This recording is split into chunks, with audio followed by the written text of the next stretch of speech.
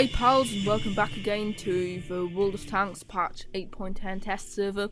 I'm Antonow2 and yep, today it's time to have a look at the tier 8 Japanese medium tank, the STA-1. It definitely looks very interesting, it's kind of got a lot of similarities with something like a Pershing or a Patton and I'm not quite sure about this but I'm guessing that probably the Americans helped the Japanese design these tanks uh, after the Second World War and stuff. If you know anything about that, just please let me know in the comments, but that's what I think because they look very, very similar. Yeah, this tank is really enjoyable, as all the Japanese tanks I've played so far were. It's all round a really good tank with only one major drawback to it, which is its weak armor. Except for that, the tank performs really well, the gun's outstanding, and yeah, that just gets stuck right into the stats. It's got 1450 hit points. That is a lot of health for a tier 8 medium tank. Nearly all tier 8 medium tanks get only 1300 health. This 1450, a tier 8 heavy tank wouldn't have to be ashamed of that. That's as much health as the Super Pershing gets. It's a lot of health. For example, the T-34 tier 8 American premium tank only gets 1500 health. That's only 58 points more. This is heavy tank health at this tier. That's really, really good gives you significant advantage over equal tiered medium tanks. It's again a fairly light tank like all the tanks in this tech we have been before. It's 35 tons not a lot at all. Driving those 35 tons is a 570 horsepower engine, uh, which is alright, but it's not all that amazing. Let's quickly check out the power to weight ratio. It's 16.65. Now, that's alright, but it's not amazing as medium tanks go. And that was the same with the tier 9 tank as well. This tank is not a very fast moving medium tank. It's fairly agile, but it's not uh, fast as medium tanks go. It only has a top speed limit of 45 kilometers an hour. That's really slow for a medium tank. However, the traverse speed is really good at 44 degrees per second. Also, the turret turns fairly quickly with 42 degrees per second. The armor, however, is really disappointing on this vehicle. You've only got 45 millimeters of frontal hull armor, 35 at the sides, 25 at the rear. At the front of the turret, you've only got 70 millimeters, 60 at the sides, 35 at the rear. That's really disappointing. You basically won't be able to bounce any shots in this vehicle except for if they hit the gun mantlet. I have had ricochets from the gun mantlet of this vehicle. It seems to be pretty sturdy, except for that the tank's basically made out of paper. Also, you have to be very careful with artillery because you haven't got all that good speed to dodge the shells if they hit you, you will absolutely be wrecked. These are leopard levels, or actually below leopard levels of the armor. It's just really, really disappointing. Next, we'll move on to the thing about this tank, which is for me the most important, which is the gun. Uh, I will be comparing this gun to the gun that the Indian Panzer uses because they both are quite similar. Uh, let's see if I can quickly call it up. They're both 90mm guns. Uh, and of course, straight away you can see that the STA1 gets a 90mm tier 9 gun, while the Indian Panzer only gets a tier 8 gun. So we straight away expect the Japanese gun to be a bit better. Uh, the rate of fire is exactly the same. The penetration is slightly better on the Japanese tank. It's 6mm better. The Alpha damage is exactly the same. The German gun is slightly more accurate. 0.34, that's actually a, quite a significant increase over 0.36 and makes sniping with this gun a lot more accurate. However, the one thing that killed the Indian Panzer's gun was the 2.9 second aiming time. That's a really, really bad aim aiming time on a medium tank, and that's what that was the only thing basically that I didn't like about the Indian Panzer. This new Japanese tank only gets 2.3 seconds aiming time.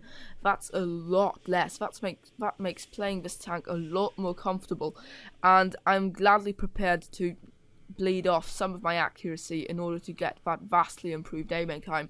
So all in all, the Japanese gun definitely is more powerful. It's got slightly more penetration. It's got a lot better aiming time, however, slightly worse accuracy. But I think that's a fair deal to make. And I think after looking at this tag and saying that, except for uh, the armor, it hasn't really got anything good going for it. It really needs a good gun, and it gets one. The view range also, as with all other tanks of this line, is above average. It's 390 meters, which is one of the best view ranges at tier 8. Most tier 8 tanks only get 380 meters view range, so that will give you a significant bonus, and also you get your 750 meter signal range, which is really good at tier 8. Next, we'll have a look at the equipment, and I would definitely go with a vertical stabilizer on your first slot, and a tank gun rammer on your second slot, as in nearly every tank. For the third piece of equipment, you could choose between vents or coated optics again. I personally went with vents down here because it's just really cheap, costs a lot less than coated optics. However, if you've got the money, uh, feel free to get coated optics. They will bring you quite a bonus, and vents aren't really all that important on this vehicle the only reason why I stuck vents onto this tank is because I wanted to make testing it as realistic as possible and as close to how it would be on the live server as possible. And on the live server on a T8 tank, except for if I would really want to keep the vehicle, I wouldn't bother about sticking stuff like a vertical stabilizer or a tank gun ram on it, as I would probably only be playing it for about a month or maybe even only half a month and then selling it again, and I just wouldn't be prepared to put that much money into it. However, the vents only cost 150,000 so that's why I got those. Crew skills are very similar to all the other tanks in this line that I've reviewed so far. You want to get repairs on your entire crew. You could swap them for BIA, but I wouldn't recommend it all that much on these tanks. I would rather straight away go for 6th sense in your commander. You definitely want to have 6th sense. Um, also, you want to have smooth ride and snapshot on driver and gunner. You probably want to get off-road driving on your driver just to improve your maneuverability a little bit, which is kind of a downside of this vehicle. And then you definitely should get safe storage on your loader as ammo rack is a real problem with this vehicle. So, uh, having talked all that stuff through in the garage, let's see how this tank performs out there on the battlefield. Uh, I've got a really nice game lined up for you guys, so let's jump right in. So, as you can see, we've spawned on Fishing Bay, and this is a pretty good map for this tank because it gives good opportunities for medium tanks, especially like this one with amazing Japanese gun depression uh, to walk this ridge line here in the center of the map and that's exactly what I'm aiming to do. Basically I'm going over to the left side of the ridge line here and I'm just going to drive along the ridge line trying to get some early spots in and maybe intercept enemy scouts that try to pull over here. That would be the WZ-132 in this case. Uh, and then later on I want to position myself at uh, E7 about and snipe into the tanks trying to advance through the town. At least that's my plan at the moment. Uh, so I'm kind of playing it cautiously here. It's a tier 9 game. They've got some very nasty tank destroyers on their team that I don't want to get hit by. They've also got two Rheinmetall Borsigs which are pretty dangerous. So I have to be careful. Uh, and that's why I'm only advancing very slowly. Probably I spotted that IS-3 back there. And oh yeah, there we go. Oh good, he's on very low health. Could we? Oh, that's really good. That's really, really important for our team that we took that guy out. He's got a really dangerous gun and taking him out that early in the game without him being probably able to get a single shot in uh, is really important. There's a Tiger too, and I donked my first shot fired more or less clutch. So uh, this is the kind of situation in which I would have liked to have a vertical stabilizer. And uh, I get my second shot in. He uh, only hits my track, which is lucky. And now this is the point in the game where I realise, oh my gosh, look at the left flank. We're being rushed hard. And uh, at this point, I'm considering to turn around, but I just really want to finish off that Tiger or still do a little more damage on this flank before I head over there. And I could see that there was an object 704 and also another object 704 and um, uh, IS3 are heading over there, so maybe they will be alright. Um, so for the moment, I'll just keep on working these guys over here. I can't get any shots in that for Tiger 2 heavy tanks are taking damage, but now is the point where I say, okay, I've got to get over there and help. There's a tortoise over there, and I really don't want to stick around here with that M103 poking the ridge.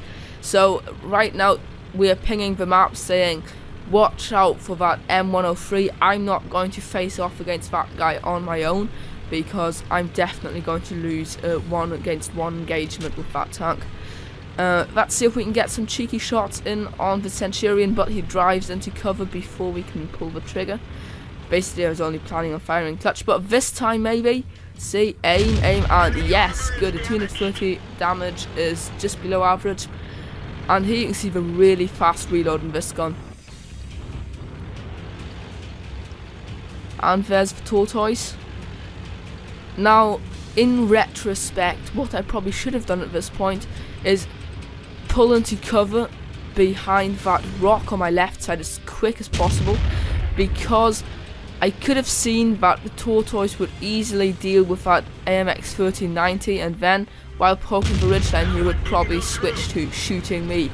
Uh, so at this point I realised that and start angling backwards but the tortoise gets one shot into me and this is the point where I say oh to hell with attacking this tortoise. I've just got to get into cover here.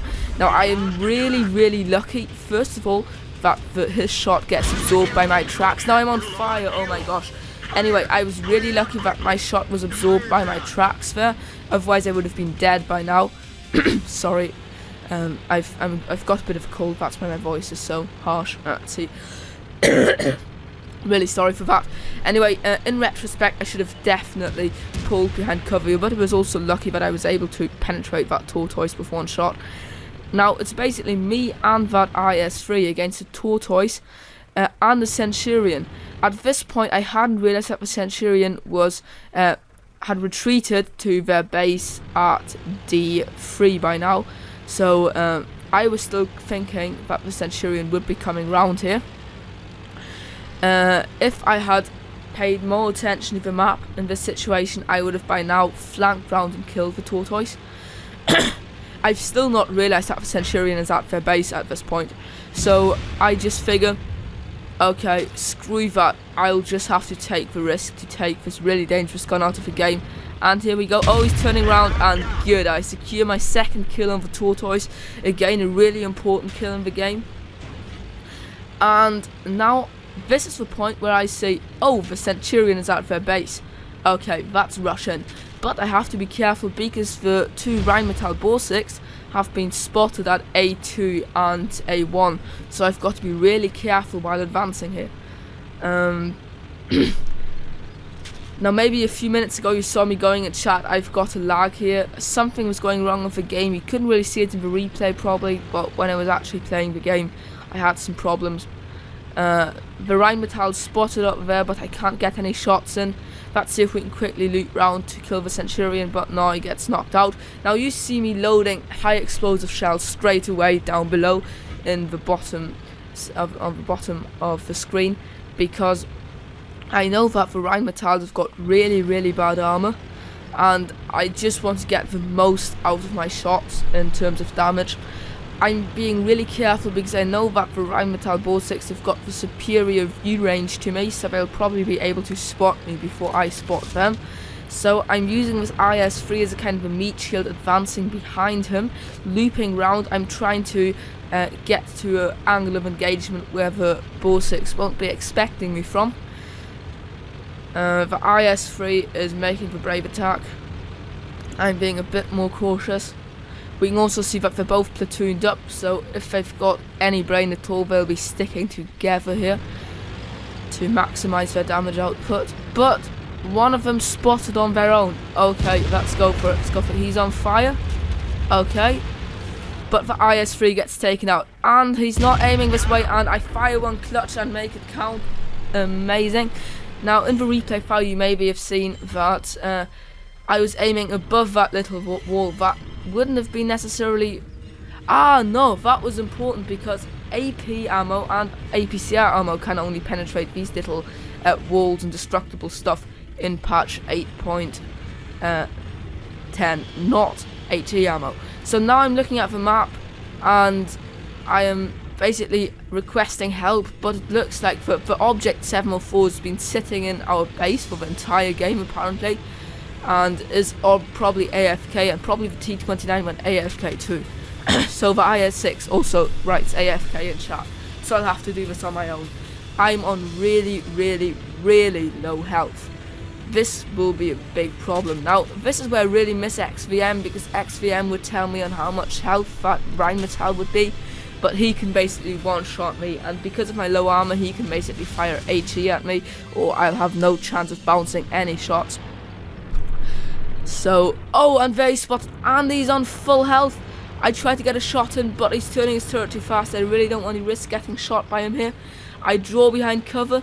However, now I see him advancing, and I'll try to get the most out of my gun. And oh, he misses the shot. Really lucky. I make one shot count, and this is the great thing about HE. I'm able to get in a lot higher damage output. I see that he's using the one 5mm gun, so I managed to get a second shot in before he retreats behind cover to reload. Because on the uh, 150mm gun, I know he's got a very very long reload, and now I'm trying to get another shot in while he comes around here but he's got very low profile. We can't make it happen. But now he's in one shot range of me. And can we get him? Can we get... Ah, no. I, I miscalculated that angle. He misses a shot. This is really, really big for us. Now we can rush in and... And, okay, I know though that his reload is way longer than me. So if I'm really lucky, I can still kill him. And, yes, yes, I make I make it happen and I get the kill and we were basically able to make that Rheinmetall look really, really stupid there and secure the fourth kill and the victory for our team. So I hope that really showcased this tank for you at the end. I hope that really showed that we could make our superior gun depression um, work against that Rheinmetall uh, and sniping in front of that ridge up there was really good. Uh, and yeah, I hope you enjoyed the game and let's quickly check out the after game stats before we go back to the garage for a post game summary. So we got a first class mastery badge, 43,500 credits and 8.645k experience. However, you must remember that that's our times 5 for the first victory of the day. Uh, all the same, that's still a pretty nice result. We spotted one, two, three, four enemies. And that's really interesting because we first spotted that Waffenträger auf Panzer IV. However, he only had 26 health when we spotted him. That's really that's strange because he must have been damaged without being spotted because we didn't get any spotting damage on him. So now that's really strange. However, we managed to kill him along for Tortoise and for two Rheinmetall Borsigs. Uh, if we move on to the team score, we can see that we got the most experience by far on the entire team. We had a 200 experience lead on the second best, and we also got the third, the third most damage, I think. Yep, so that's pretty good for a tier 8 tank in a tier 9 game. Interestingly enough, that wasn't enough to get us the mastery badge in this tank. We only got the uh, first class badge. So, well, that just shows you how good people are doing in this vehicle. Also, we managed to get 15 shots fired, however, only 12 hits and 11 of those 12 penetrated. That's actually a pretty good ratio. We dealt out nearly 2,600 damage, received 4 hits, which obviously all 4 penetrated, but one of them only damaged my track. Uh, actually, two of them damaged my track only. One of the tortoise and the other one fired by the tiger 2, I think. We received 1,520 potential damage, which only slightly surpasses our hit points. That's because of the uh, because the tortoise set us on fire, um, and we detected four enemies, spotted six, destroyed four, and 1,211 damage was assisted by us. That's really good. So uh, yeah, we could also keep only half of our uh, of the money we earned because we had to replenish our ammo and stuff. But all the same, I hope this game really showcased the uh, STA1 for you guys, especially the moments at the end where you could see the amazing gun depression of this tank come into play. And all in all, just as the two tanks that come after this vehicle here in the tech tree, I really, really like the look of this tank. I can't wait to get my hands on it. I think it's going to be a joy to play through, and I'm probably going to keep it as a tier 8 vehicle once I get to it for things like team battles or tank companies or stuff. So I hope you enjoyed. I hope I could showcase this tank a bit for you. If I could, make sure to comment comment, leave a thumbs up, or even sub to my channel. I would appreciate that a lot. And I hope I'll see you in one of my next videos. Um, I'll see you then and bye bye.